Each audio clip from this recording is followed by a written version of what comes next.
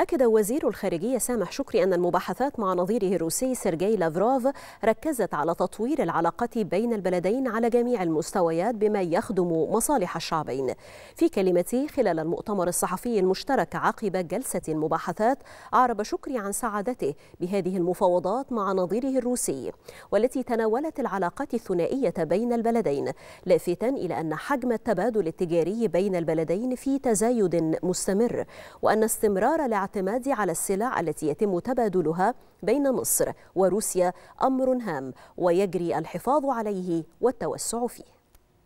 سوف نستمر في تواصلنا الوثيق فيما بيننا لدعم العلاقة الثنائية ونعتز